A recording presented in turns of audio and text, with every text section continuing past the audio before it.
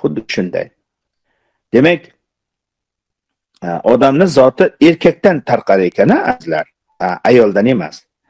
Iso bu dunyoda azlar gunohsiz tug'ildi va gunohsiz o'ldi gunohsiz yashadi. Ana shuning uchun azlar uni o'lim zanjirlari nima qila olmadi? Ushlab tura olmadi.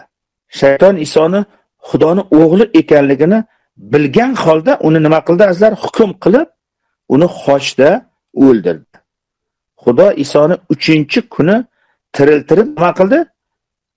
O'g'lini tiriltirish orqali shaytonni mahkum qilib uni ustidan nima qildi?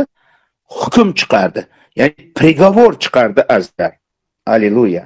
Chunki xudo adan bog'ini o'zida уже aytgan edi. Sen uni tovonini chaqasan lekin u seni boshingni ezadi degan azizlar. Xudo shu bilan karomat qildi va уже nima qildi? Приговор chiqarib bo'ldi aslan. shayton isoni oyog'i va qo'lini nima qildi? Jarohatlab o'ldirdi a? Qochga qoqilganda. No lekin e, iso o'likdan tirilishi orqali nima qildi? Uni boshini ezib tashladi. Boshini ezdi degani azlar shu. Shu bilan shaytonning hokimiyatini buzib o'zini nima qildi shaytonni rasvoyi olam qildi degani bo'ladi azizlar chunki muqaddas kalomda biz o'qiymiz Rabbimiz Iso o'zini tantanavor yurishi bilan shaytonni nima qildi deydi? Rasvoyi olam qildi deydi azlar. Shuning uchun biz masihiylarga endi azlar shaytonning hokimiyati qo'rqinchli emas. Alleluya. E biz azlar shuni bilgan holda endi masihiylar nima qilish kerak? Boshni ko'tarish kerak. Alleluya. Boshni ko'tarish kerak. chunki endi nima deydi anu mavsum o'zgardi oldin agar biz qul bo'lgan bo'lsak Rabbimiz kelib bizni ozod qildi qullik qullik davridan biz endi chiqdik endi biz o'g'ilmiz ha ilgari biz shaytonga qul bo'lib yashagan bo'lsak endi Rabbimiz Iso o'zini nima qildi? Bizga hokimiyat berdi. Meni nomim bilan nima qilasizlar iblisni rejalarini buzasizlar. Iblisni qurol va aslahalarini oyoq osti qilasizlar. Men sizlarga barcha yovuz ruhlar ustidan hokimiyat berdim deydi boringlar deydi meni nomim bilan hukmronlik qilinglar deydi alleluya. Ko'ryapsiz mana azizlar. E, biz shaytonni saltanatida yashayapmiz bir so'z bilan aytganda lekin biz bu dunyoda bo'lganimiz bilan shaytonni saltanatini ostida emasmiz. Shayton bizni ustimizdan hukmronligini o'tkazolmaydi endi. Nimaga? Chunki Rabbimiz Iso bu dunyoga kelib inson qiyofasida tug'ilib shaytonni xochda nima qildi? Shaytonni hokimiyatini buzdi. O'zini o'limi orqali ya'ni solih odam o'lishi mumkin emas. Chunki shayton qonundan foydalangan holda odamlarni la'natlari edi odamlarga la'nat olib kelar edi va odamlarni ustidan hukm chiqarar e, hukm chiqarar edi shuncha esingizdami musoni qonuni bo'yicha biz bundaylarni toshbo'ron qilishimiz kerak. Sen nima deysan? dedi a shayton o'zini odamlaridan orqali ya'ni qarang o'zini odamlaridan foydalangan holda shunday deyapti. Rabbimiz esa nima dedi? O'rnidan turib odamlarning yuragiga murojaat qildi.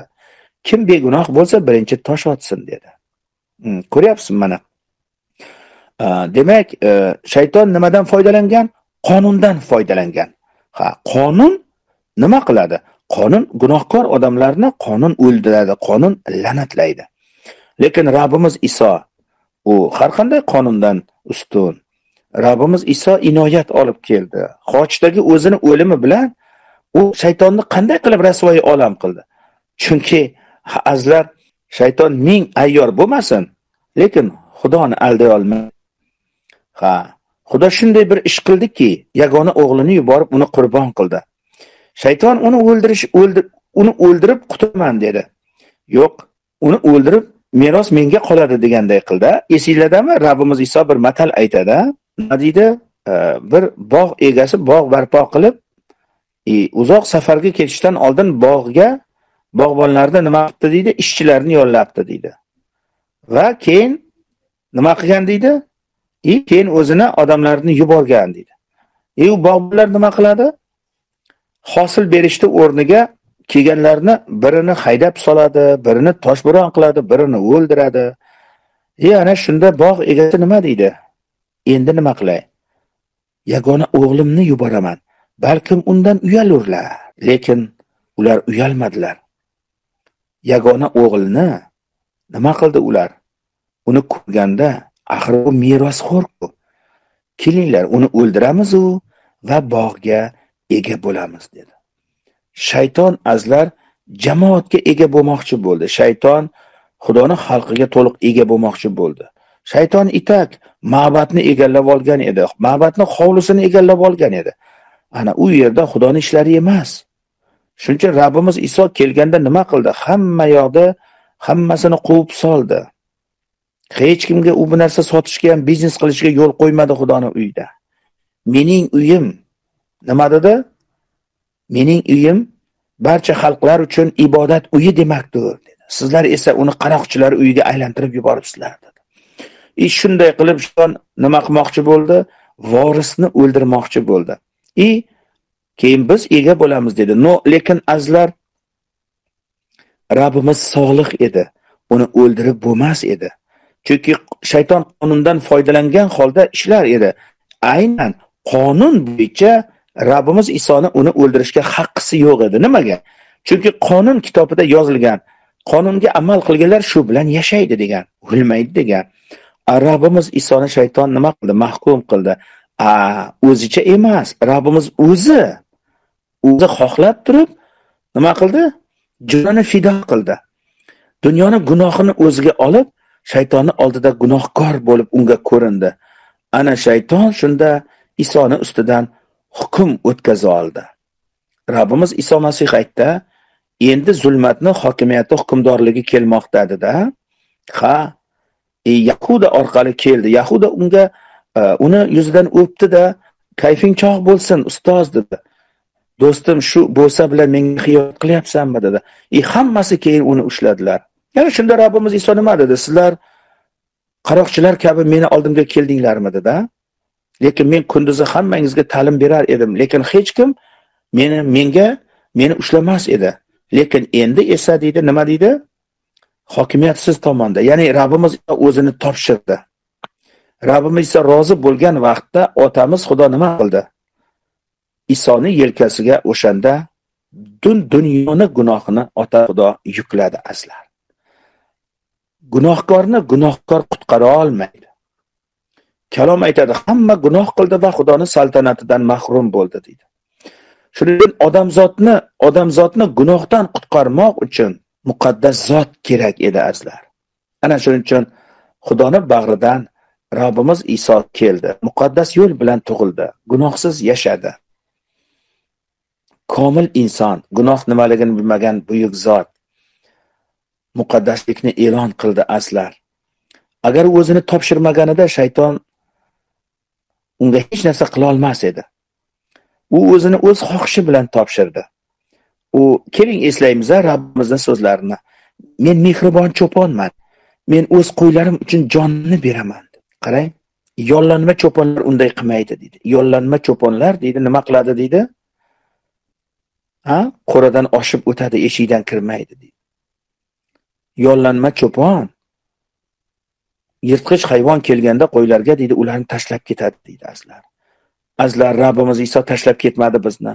Rabbimiz iso ikki ming yil oldin kelib bizlarni yirtqich hayvonlardan ozod qildi. Alleluya. Ha u o'zini qurbon qildi va xochda to'lov to'ladi. Shayton uni o'ldirib qutulaman dedi. Yo'q uni o'ldirib u tutildi naborot chunki rabbimiz iso masihni xudo uchinchi kuni qayta o'likdan tiriltirib uni oqladi.